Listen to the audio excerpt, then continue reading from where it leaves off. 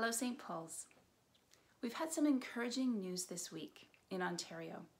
It seems that the first wave of COVID 19 may have peaked, and so far it has not overwhelmed our healthcare system. And we are so grateful. Of course, this raises some questions for us. When do these physical distancing measures, which seem to be very effective, start to get rolled back? When can I go back to work? When can I go back to school? When can we gather again as a church? And we just don't know. But what we do know is that Jesus is still Lord, and as Andrew shared last week, he's given us a job to do. The way that we talk about this job at St. Paul's is that we are on mission to creatively invite people into a growing relationship with Jesus. And that mission has not changed, even in this time of unpredictability.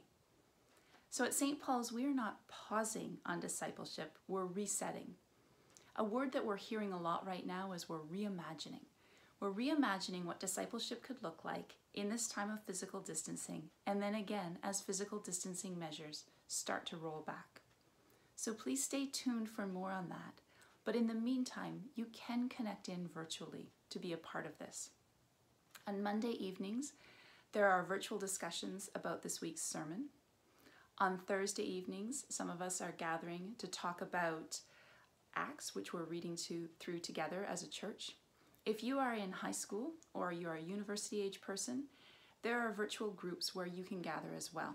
So please connect into those. Also, if you're part of a small group or virtual home church that is meeting and you would have space to invite others into that, please let us know. We would love to be able to connect those who are looking to be part of a home church with those of you who have that space. And finally, on the theme of adapting, the St. Paul's leadership has decided that we will not proceed with planning or holding a summer camp this year. Even if physical distancing measures are rolled back, we don't want to begin by gathering 350 volunteers and kids for a week. Our, the safety of our volunteers and kids is really important to us, and we want to be able to do this in a way that we can assure that. So we'll look to planning that for 2021. In the meantime, we're also going to be thinking about creative ways that we can support families and kids through this time.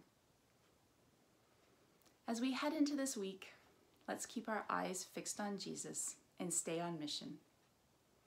May God bless you with grace, hope, and peace. Thank you.